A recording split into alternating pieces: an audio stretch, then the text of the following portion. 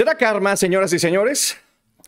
Resulta ser que, como es su costumbre, la senadora con ese, Lili Telles, retó al presidente de la República a que vaya al Senado, que porque tiene 50 preguntas que hacerle, que porque hay cosas que no están claras y que ella y los demás legisladores de oposición necesitan escuchar ciertas cosas. Así que se hizo ya pública esta situación en donde exige al presidente que vaya al Senado a dar la cara.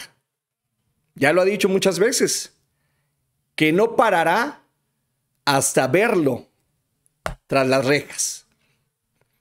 Lili Telles, ¿usted le cree a esta mujer que llegó al Senado por Morena? Después brinca al PAN y se vuelve una de las opositoras principales del licenciado López Obrador y de la 4T, en donde ha utilizado no solamente el estrado o los medios de comunicación o las mismas redes sociales para tener una postura en contra de este gobierno.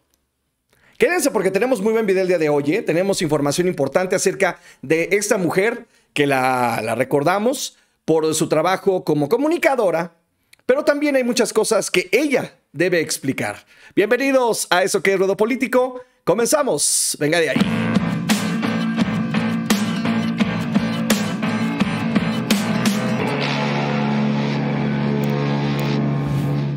Muchísimas gracias por estar con nosotros el día de hoy. Les agradecemos enormemente el que nos regalen ese poderosísimo like y de igual manera les invitamos a que eh, se suscriban, le den clic a la campanita y que por supuesto cada vez que haya video el mismo sistema le va a hacer llegar la información.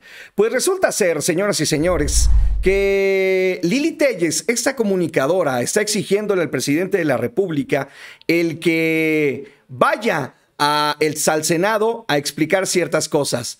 Lo que sí hay que entender es que Lilith Telles ya dejó muy en claro que ella es una de las eh, personas que buscan ser presidenciables, una de las figuras de la oposición que tratarán de llegar a estar en las boletas del 2024.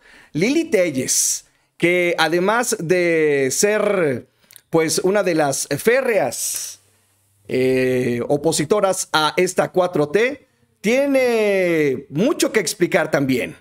Señoras y señores, el dinero de Lili Telles, la, el estilo de vida que se le ha descubierto o que le han señalado, como por ejemplo ese BMW que se le donó hace años, sí, fue en el 2010, coincidentemente, cuando fue ese famoso caso de la niña Paulette, que ella lo cubrió cuando fue periodista y que participaba en televisión azteca. No solamente eso, señoras y señores, sino que hay muchas cosas que hay que señalar. Por ejemplo, vamos a hablar precisamente de esta legisladora de ese dinero de los presidenciables, Lili Telles y ese BMW donado. Ha levantado la mano, como ya les decía, para ser candidata presidencial y ha asegurado que puede vencer a Claudia Sheinbaum y promete, como les decía, meter a la cárcel al licenciado Andrés Manuel López Obrador. Eso es lo que dijo Lili Telles. La carrera política de esa mujer ha sido corta pero meteórica a tal grado que se ha convertido en un personaje pues irrelevante de la oposición. La periodista que llegó al Senado de la República abanderado, abanderada por el partido Morena y que luego abandonó para irse al PAN, ha sido una piedrota en el zapato para la 4T día a día con las acciones en contra del presidente Andrés Manuel López Obrador. Su popularidad, con la oposición obviamente, ha sido tal que Leyes ha demostrado el interés por ser candidata al 2024.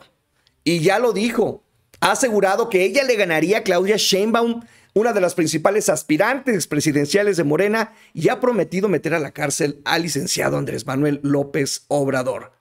Son de las cosas que esta política que tiene toda la intención de seguir siendo protagonista y de seguir teniendo un estilo de vida, aunque lo digan que no, muy fifi, hay mucho que señalarle.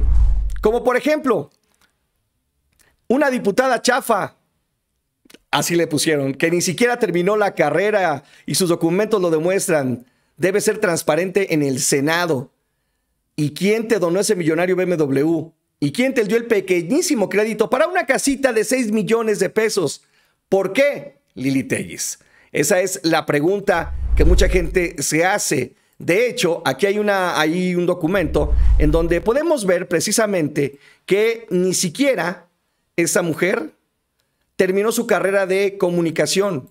Aquí aparece en el estatus como trunca en la Universidad del Noreste. Aparte de eso, se habla de que los bienes que ella ha declarado, pues eh, no coinciden con eh, los ingresos que pudo haber tenido cuando estaba trabajando en la televisora. Se habla de una donación de un BMW. Vuelvo a lo mismo. Se dice que fue a raíz de un pago o que te calles o formar parte de un teatro para ese famoso caso de la niña Paulette. ¿Qué es lo que comentaba Lili Telles? Ella lo dijo, me consta que no estaba allí el cuerpo de la menor. El misterio del caso de Paulette, el papel de Lili Telles y el atentado que casi acaba con su vida, en donde mucha gente habla y aseguran que ese fue un autoatentado. Una de las reporteras que cubrió el caso de Lili Telles ahora la legisladora del Partido Acción Nacional, que no solamente estuvo en el cuarto de la pequeña, sino también se sentó sobre la cama en la que cinco días después fue encontrada esta menor, esta pequeña, Paulette. El caso de la niña Paulette eh, Guevara Fará ha sido uno de los más controversiales. Hasta serie de, de Netflix se le hizo y obviamente ha levantado mucho ámpula, o levantó ámpula tanto así, como le decía, pues hasta simple y sencillamente le, le hicieron ya una, una serie que más que serie seria, parecía un, una comedia. Eso sucedió en el 2010, en donde esa familia muy acomodada vivía en, un condominio en Huixquilucan y en donde Lili Telles se vio obviamente eh, involucrada por su investigación. Días después y tras varias búsquedas intensivas y una extensa cobertura mediática, el cuerpo de la menor apareció ahí en la, la, en la piecera de la camita. Y la versión oficial fue que la niña perdió la vida en la madrugada, la madrugada del día 22 del mismo mes, unos cuantos días antes, después de que obviamente este, hubo una investigación tremenda. Simple y sencillamente sabemos que esto es un montaje y ahí es cuando uno se pregunta, ¿qué pasa con una Lilita es que ahora sí exige, que gritonea, que señala, cuando la vemos que formó parte a, a todas luces se ve de un montaje sobre un caso tan triste y tan delicado como esa situación?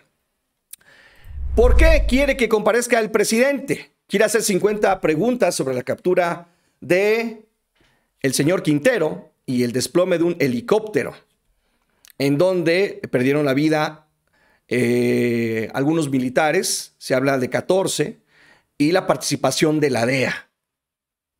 Sí, quiere hacer preguntas a la Secretaría de Marina sobre esa situación de la detención, en donde hay cuestiones que esta mujer quiere que el presidente aclare.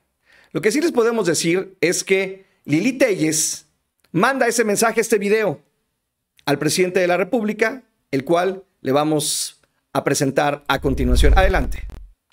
Quiero decirle algo también al presidente. En lugar de meterse con Alasraki, que tiene todo el derecho de cuestionarlo y exhibirlo, vaya al Senado, presidente.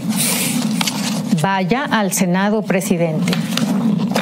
Es con nosotras, presidente. No tenga miedo. Bueno, yo sí lo voy a esperar con el jabonzote para su bocota, pero además de eso, debe usted escucharnos en el Senado.